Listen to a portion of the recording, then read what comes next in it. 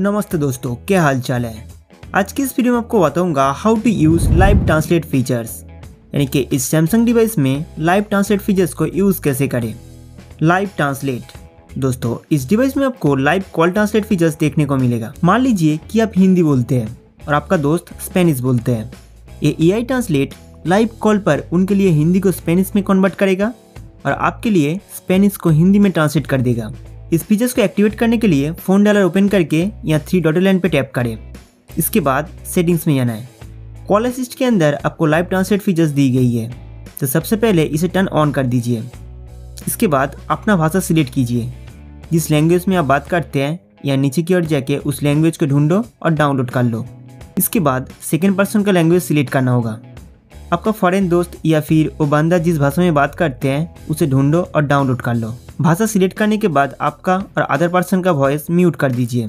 आप केवल दोनों साइड में ट्रांसलेशन वॉइस सुनाई देगा।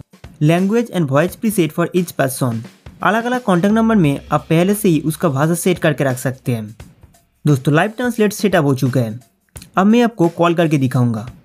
जब उस बंदे को आप कॉल करेंगे या आपके पास कॉल आएगा, या कॉल असिस्ट पे क्लिक करके लाइव ट्रांसलेट चालू कीजिए।